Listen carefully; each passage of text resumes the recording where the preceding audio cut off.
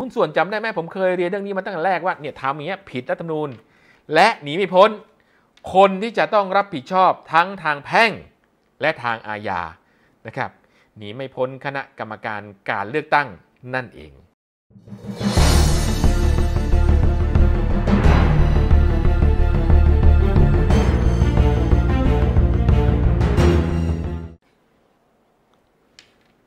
สวัสดีครับมาพบกับผมเทิดศักดิ์เจียมกิจวัฒนาครับ วันนี้ก็สวัสดีหุ้นส่วนฮะที่รับชมทุกแพลตฟอร์มของสำนักข่าววิหกนิวส์นะครับวันนี้ประเด็นที่น่าสนใจ ก็คงจะเป็นเรื่องของคลิปลับนะครับที่เกี่ยวกับเรื่องของการฮั้วสว.นะครับซึ่งปรากฏว่าตอนนี้ก็ค่อนข้างชัดเจนแล้วนะครับ ว่าสว.อ่าคณะกรรมการการเลือกตั้งจะเดินหน้าคลิปลับก็โผล่ขึ้นมา แล้วทีนี้อย่างนี้ว่าเออคนที่นัดเนี่ย คือใครบอกได้ไหม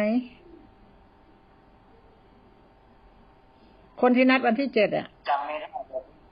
คือคือคือเจ้าหน้าที่เจ้าหน้าที่รับปั๊บขึ้นมารับแจกให้ตามชื่อตามชื่อตามชื่อเซ็นมาผมว่าจำจำจำไม่ได้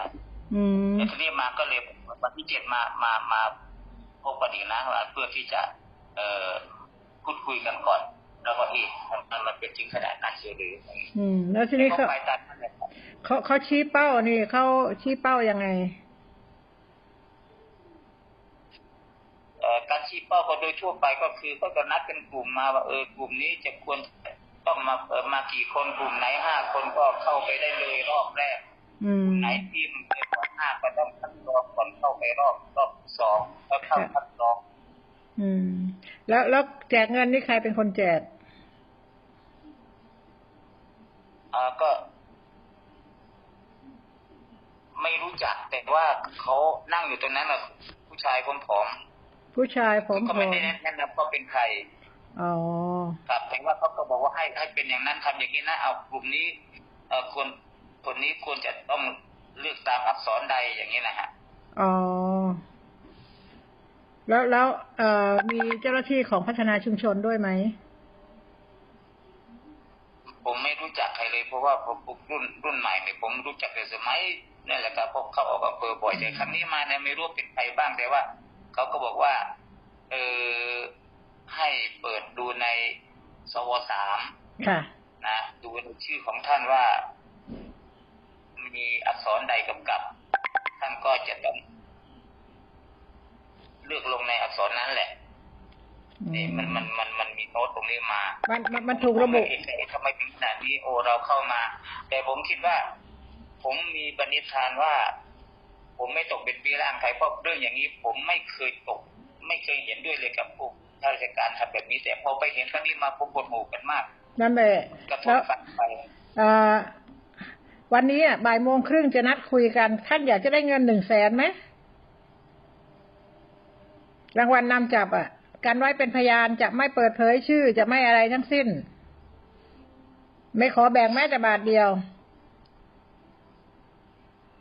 ในฐานะที่ท่านเป็นคณะทำงานเฝ้าระวัง สตรองคุ้มครองสิทธิ์ผมจะหนักอยู่ในข้อนี้อยู่คือผมผมเอ่อไม่อยากให้มันเกิด แต่เข้าลึกไปปั๊บเข้าใจจะนี่มามันเกิดความรู้สึกที่มันแย่งในความรู้สึก วันที่ไปบ้านคุณจ๋าวันนั้นคือ ผมก็คิดว่าคุณจ๋าก็อาจจะรู้แล้วมั้งว่าเราสมัครด้วยวิธีใดนะครับมันก็ค่ะมีคนให้ค่าสมัครมาอืมแต่ทีนี้ก็ก็ดูแลเทคแคร์ทุกอย่างอืก็มก็ผ่านมาด้วยดีคิดว่าจบแค่นั้นค่ะแต่ก็คิดกับว่าเออถ้าเราเข้าคูหาเมื่อไหรเราก็จะเลือกเฉพาะคนที่เราคุยกันไว้รอบนอก แต่มันมันไม่ใช่อย่างนั้นอืม พอวันที่เจ็ดถึงให้ไปฟัง แล้วก็ไม่รู้ไปฟังเรื่องอะไรอีก พอปรากฏว่าไปถึงถึงได้สู่รู้ว่าอ๋อกำหนดให้เราเลือกตามอักษรที่เขียนไว้อืมคนนี้เลือกอักษรนั้นตอนนี้ซึ่งแทนสีแทนสี อืม อาจารย์พอจะมาให้ข้อมูลได้ไหมวันเนี้ยนัดคุยกันบ่ายโมงครึ่งเออนี่ที่ไว้ต้องต้องต้อง ถามแม่บ้านกันเพราะว่าเห็นว่าเขาจะไปไหนไม่รู้เนี่ย คือคืออย่างน้อยอย่าอย่างน้อยที่สุดเนี่ย อาจารย์ได้ชื่อว่าเป็นคณะทำงานที่ทำหน้าที่ไม่ว่าจะเป็นคณะทำงานเฝ้าระวังอ่อการทุจริต หรือคณะทำงานสตรอง หรือคณะทำงานคุ้มครองสิทธิ์เนี่ยมันเป็นหน้าที่ แต่ที่นอกเหนือจากหน้าที่คือรางวัลนำจับเนี่ย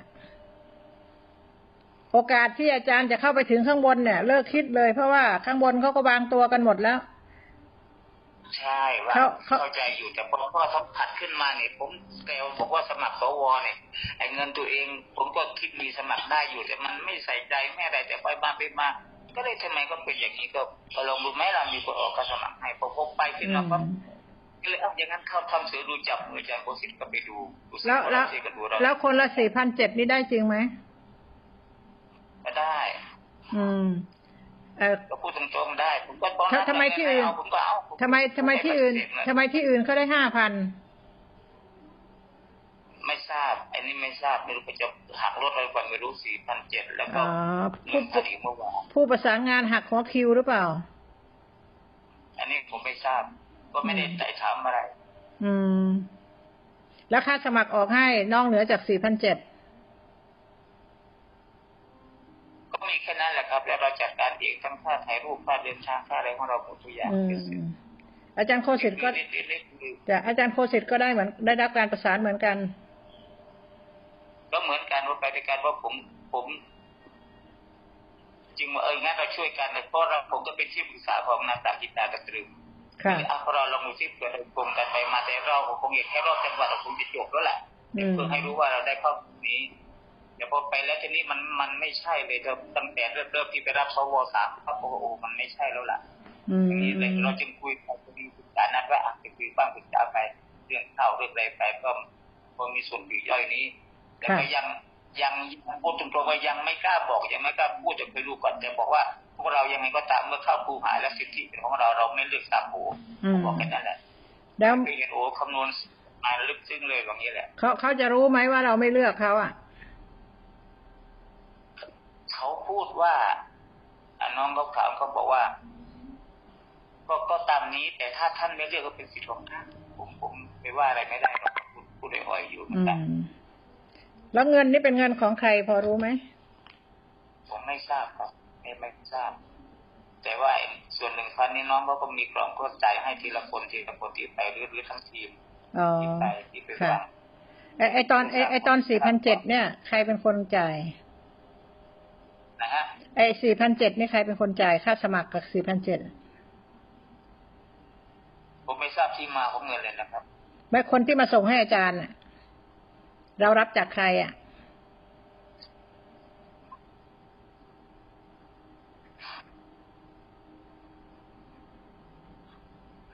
รู้จักไหมคะ ฮัลโหล ครับผม ค่ะ คนคนคนที่เป็นคนถือเงินมาให้อาจารย์เนี่ย เป็นใครพอรู้ไหม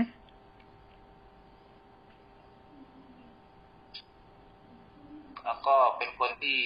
รู้จักมักคุ้นนั่นแหละครับ อืม โอเค ซึ่งซึ่งอะไรคะขอพักไว้ก่อนตรงนี้ค่ะครับค่ะเดี๋ยวเดี๋ยวเราค่อยคุยกันครับโอเคมักคุ้นรู้จักดีโอเค โอเค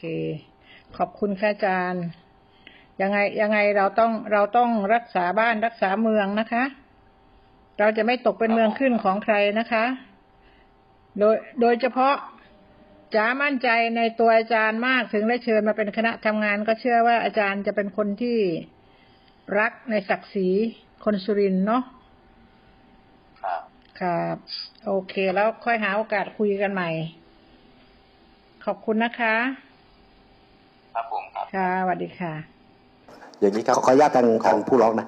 อันอันนี้ก็ครับนิดท่านึนงมันก็เป็นครับประโยชน์ท่านก่อนเข้าบุรีรัมย์พยานมาจากไหน เช็คได้เลยครับเดี๋ยวผมอันนี้ต้องเช็จำคได้นะ ถ้าจำไม่ได้อีกไม่รู้เรื่องแล้วคนรถพาไปนครศรีธรรมราชแน่ก่อนที่จะเข้าบุรีรัมย์เช้านั้นพยานออกจากจุดไหน ผมจำไม่ได้จริง ๆ เวลาผมหาเสียง ท่านท่านต้องเข้าใจฮะจริงๆอะเวลาหาเสียงเนี่ยเวลาผมไปทำอะงานไม่ใช่เดี๋ยวพอแปดโมงเราอยู่บุรีรัมย์เลยเงี้ยเหรอรู้สึกว่าคืนนั้นน่าจะนอนที่บุรีรัมย์ละมั้งครับ อ๋อนอนบุรีรัมย์ก็ก็ก็บอกว่าอาจจะนอนบุรีรัมย์ประมาณนั้น ผมไม่แน่ใจผมไม่กล้ายืนยัน ผมจำไม่ได้ แต่ผมเช็คให้ท่านได้ แต่ผมเช็คให้ท่านได้ มีหลักฐานแน่นอน ว่าผมไปที่ไหนมาเพราะเวทีปราศัยเนี่ยมันชัดเจนกำหนดเวทีปราศัยที่นอนเนี่ยมันชัดเจนหมดนะครับ ถามผมวันนี้ว่าคืนนั้นนอนที่ไหนผมจำไม่ได้แน่ๆแต่มีหลักฐานยืนยันได้แน่ ถ้าท่านให้เวลาผมถ้าท่านอยากรู้ เดี๋ยวผมไปเตรียมให้ได้ ตารางการหาเสียงตารางการปราศัยของผมมีคนแต่ละครั้งเข้าไปฟังเป็นร้อยนะครับมีคนถ่ายรูปแน่นอน มีคนถ่ายคลิปวิดีโอแน่นอน แต่ก็ไม่ขอยักษ์นะครับเอ๊ะมันไปบุรีรัมย์วันที่แปดมันก็ต้องรู้คร่าวๆว่าก่อนอยู่บุรีรัมย์วันที่เจ็ดมันอยู่ที่ไหนครับมันไม่น่าจะถึงขท่านนาครัดบลืมนะผมไปเอาอย่างผมไปสุราษฎร์วันที่แปดอย่างเงี้ยใช่ครับใช่ผมครับผมก็ต้องรู้ว่าวันที่เจ็ดแต่ผมอยู่กรุงเทพผมบินไปอย่างเงี้ใช่ยครับเพราะว่าอจะไม่รู้เลยเพไม่ราะว่าได้ท่านไม่ได้ไปบ่อยเท่าผม ช่วงฮะนั้นเนี่ย ผมไปหาเสียงแทบจะทุกวัน วันหนึ่งผมจำไม่ได้ด้วยซ้ำว่าเช้าอยู่ที่ไหน วันหนึ่งไปปลาใสเจ็ดเวทีปลาใสเจ็ดเวทีอำเภอนี้ทีข้ามจังหวัด บางวันไปห้าจังหวัดนะครับ บางวันไปห้าจังหวัดนะครับก็แล้วคำถามที่ผู้ร้องถามก็ไม่ได้ซับซ้อนนะใช่ครับมันเป็นเหตุการณ์ผมกว้างๆว่าใช่คือเขาจริงๆเนี่ยคุณนครรับแล้ววันที่8 ตอนช่วงเช้าอยู่บุรีรัมย์แน่นอนแน่นอนมีคลิปชัดเจนเพราะว่ามันใช่คลิปชัดเจนหาเสียงใช่หาเสียงอ่าใช่ครับพูดในที่ประชุมหมู่บ้านแน่นอนเบิ้ลใช่อันนี้ครับแต่นี่ก็ปฏิเสธเขาไม่ได้แล้วนะใช่ครับแน่นอนเขาเพียงแต่ถามสั้นว่า แล้วก่อนวันนั้นน่ะไปอยู่ถ้าก่อนจะเข้าบุรีรัมย์อะเออมันอยู่ที่ไหนมันต้องมาโอ้โหมันต้องมีที่มาที่ไป คนเราอยู่ดีเป็นโดดเข้าใจโผล่บุรีรัมย์เลยเนี่ยโดยไม่รู้ว่าวันที่เข้าใจเจ็ดครับท่านตัวเองมาจากไหนนี่มันเข้าใจจำไม่ได้จริงเหรอจริงครับด้วยความสัตย์จริง เรื่องของการเลือกตั้งสวนะครับคงชัดเจนนะฮะว่า ตอนนี้มีการหัวเกิดขึ้นจริงพักการเมืองต่างๆนะครับก็มีการนำคนลงสมัคร มีตั้งแต่วินมอเตอร์ไซค์พ่อค้าขายของ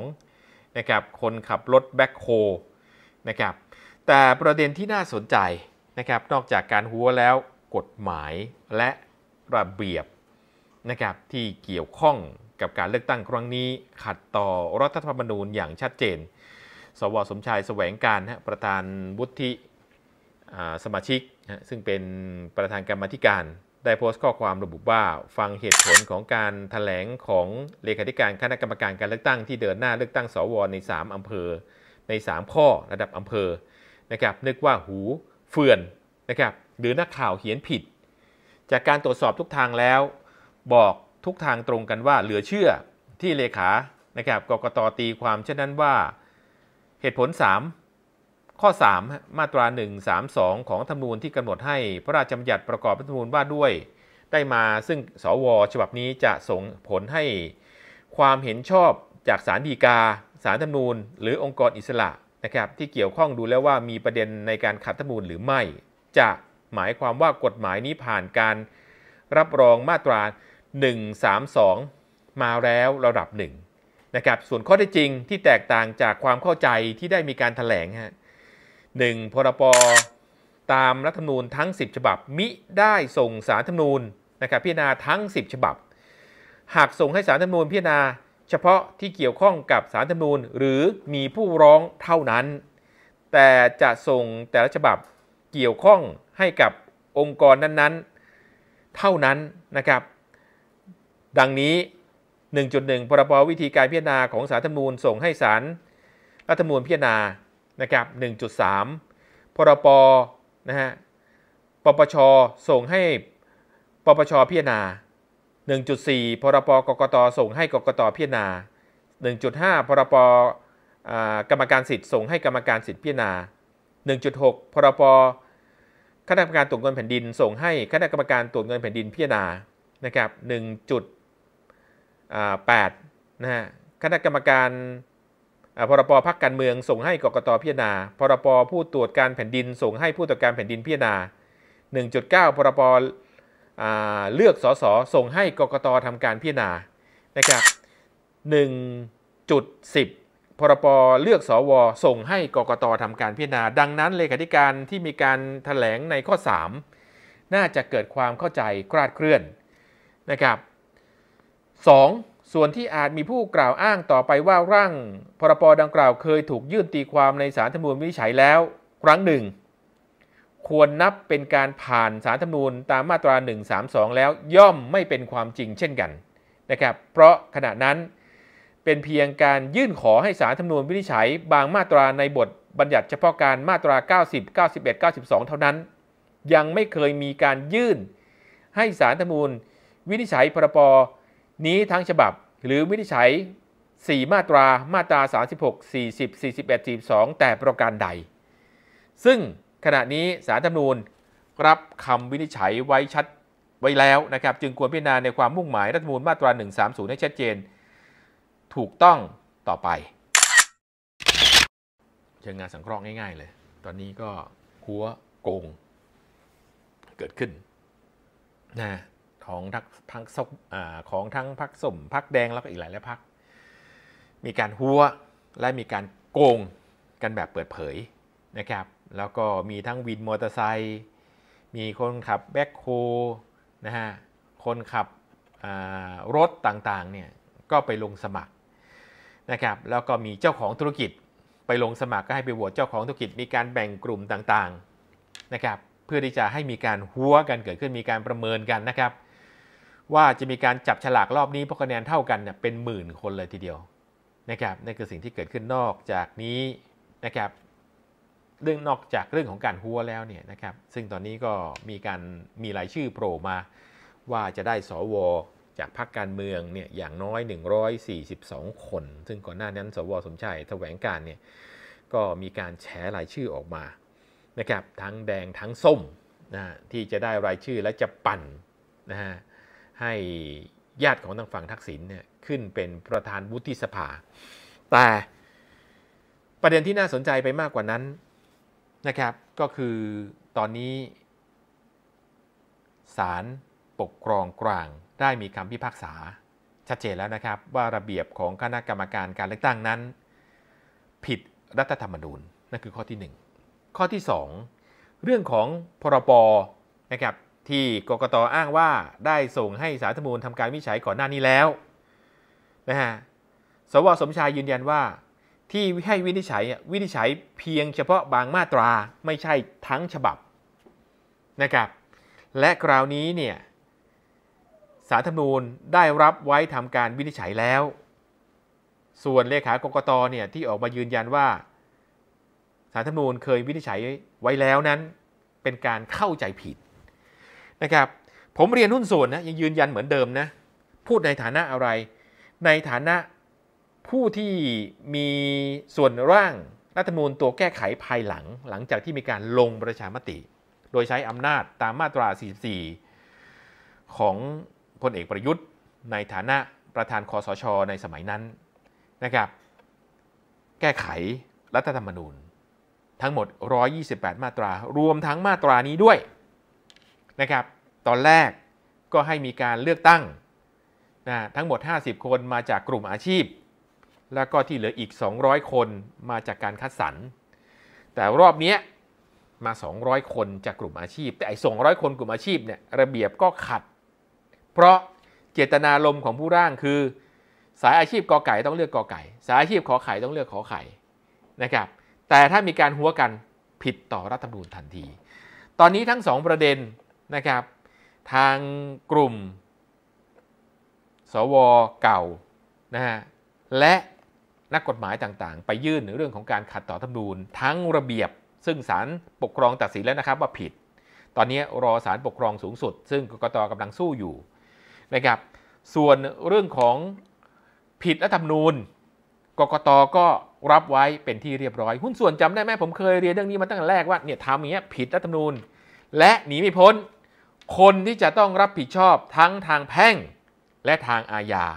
นะครับหนีไม่พ้นคณะกรรมการการเลือกตั้งนั่นเอง ขอบคุณที่บอกต่อขอบคุณที่แชร์ต่อขอบคุณที่เล่าต่อขอบคุณที่ร่วมสนับสนุนสถานี ขอบคุณที่ร่วมกันทำความดีเพื่อความดี ผมเทอศักดิ์จิมกิจวัฒนา สวัสดีครับ อย่าลืมกด subscribe และกดกระดิ่งด้วยนะคะ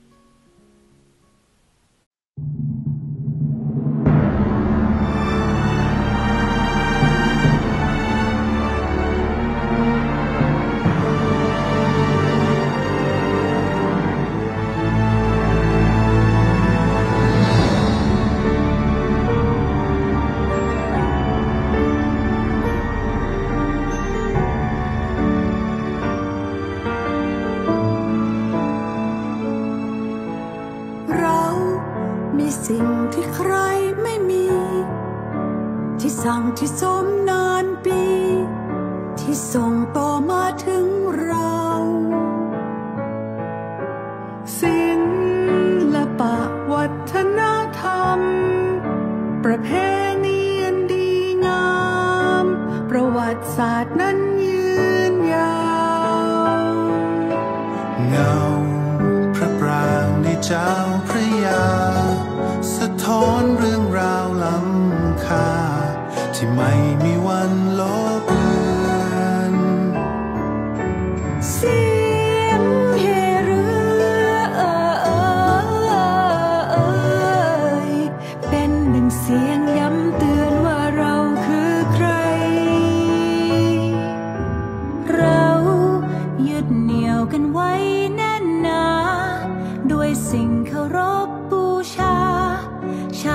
ศาสนาสถา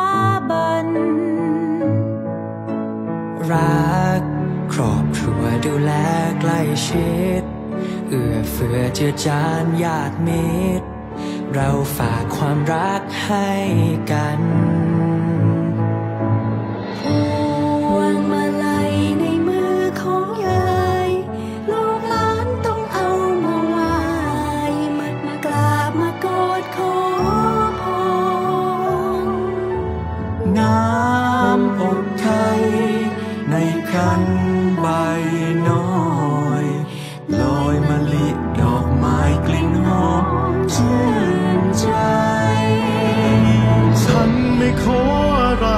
จากแผ่นดินนี้ นอกจะขอทำดีเพื่อแผ่นดินไทย ฉันจะขออะไรได้มากกว่านี้ เพราะแผ่นดินพื้นนี้นั้นมีแต่ให้ ตั้งแต่ลืมตามาจนเติบ เคยขาดหาย ตั้งแต่วันวานมาจนวันนี้ เราไม่เคยลืม เรามาจากไหน เราคือคนไทย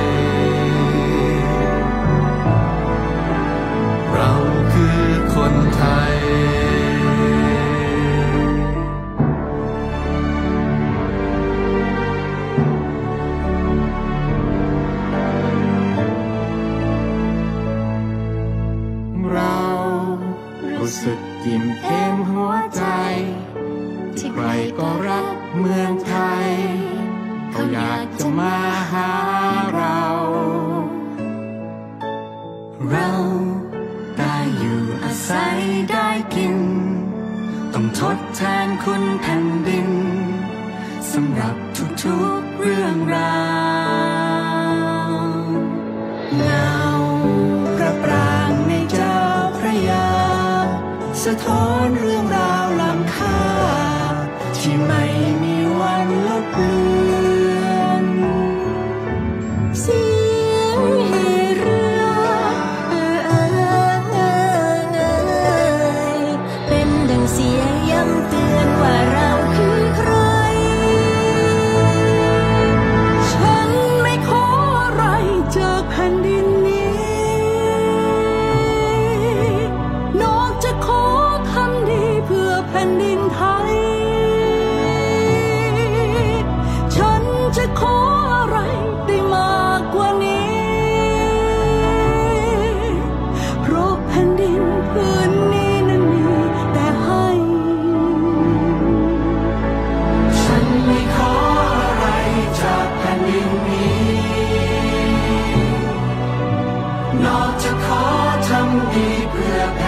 ไทย ฉันจะขอ